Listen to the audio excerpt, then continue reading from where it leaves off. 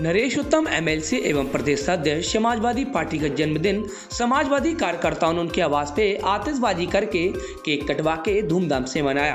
कार्यकर्ताओं ने उनके जन्मदिन में संकल्प लिया कि आगामी विधानसभा चुनाव के लिए सभी ताकत से लगकर मेहनत करेंगे और उत्तर प्रदेश में अखिलेश यादव की सरकार बनवाएँगे।